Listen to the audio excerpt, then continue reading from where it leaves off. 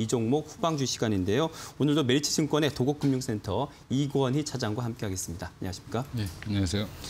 자, 오늘 시장 뭐 전반적으로 좋았습니다. 어, 이 안에서도 뭐 하락 종목을 찾기가 오히려 뭐 그렇게 음, 쉬운 쉬운 지금 시장이 펼쳐져 있어요. 어떤 종목 좀 우리가 좀 지켜보면 좋을까요?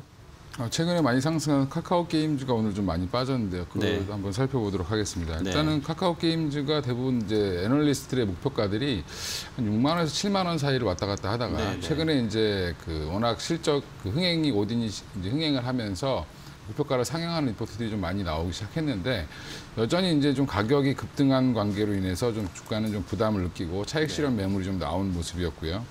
일단 오딘이 흥행을 유지할지 여부 앞으로 이제 향후 행보가 더 지켜볼 필요가 있을 것 같고요. 오히려 반면에 NC소프트 같은 경우는 뭐 이런 오딘 때문에 조금 더 주가가 더 빠지는 그런 모습이 좀 나왔습니다.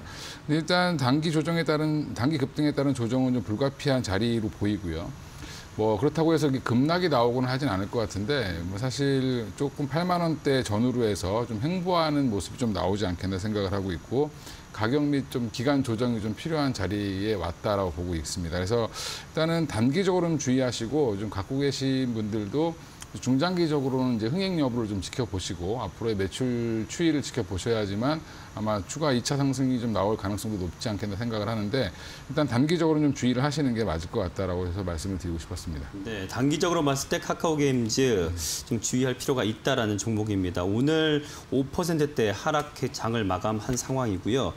그 지금 최근에 코로나 재확산세 때문에 이제 언택트 주들이 다시 또 이제 부각을 받고 있는 상황인데 거기에 또 대표적인 것이 아무래도 게임주 아니겠습니까?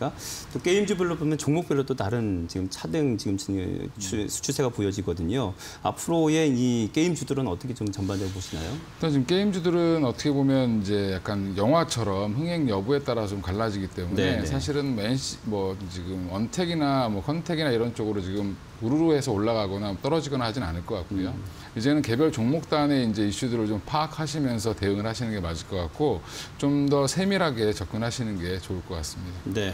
자, 계속해서 그럼 어떤 또 후방 주의할 만한 종목이 있을까요? 뭐 요즘에 우주항공 관련된 종목들이 좀 많이 좋았다가 그렇죠. 이제 오늘 뭐 일부 종목들은 좀 플러스가 나기는 했지만 켄코 켄코아 에어로스페이스 같은 경우는 오늘 좀 뭐 4% 이상 빠지면서 마감을 했는데 이 종목을 보면 사실은 주요 실적은 항공 산업에서 나오고 있다라고 보시면 될 것 같고요. 네. 어, 그 외에 이제 플러스 알파로 이제 우주항공 관련된 것들을 좀 하고 있는데 여전히 이제 사실은 그 테슬, 뭐 테슬라 관련돼서 이제 그 적자 겸임에도 불구하고 기술력으로 상장한 회사고 아직까지는 이제 실적을 좀 더 기다려야 되는 상황인, 상황인 종목입니다. 네. 일단 전방 산업에 이제 항공 산업이 조금 뭐 사실은 코로나 재확산 때문에 위축이 될 수 있다라는 우려가 있기 때문에 그런 우려가 좀 일부 반영이 된 것 같고요.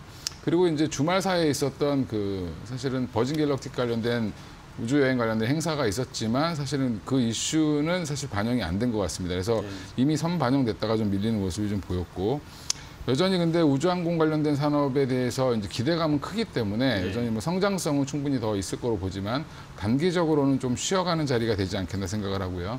오히려 이 종목을 좀 접- 접근하신 분들 같은 경우는 단기 이벤트보다는 좀 중장기적인 성장성을 보고 투자하시는 게 좀 길게 보고 투자하시는 게 좋을 것 같다라고 생각을 하고 있습니다. 그래서 이것도 마찬가지로 중장기적으로는 괜찮지만 단기적으로는 좀 하락의 위험이 있기 때문에 주의하실 필요가 있지 않나 생각하고 있습니다.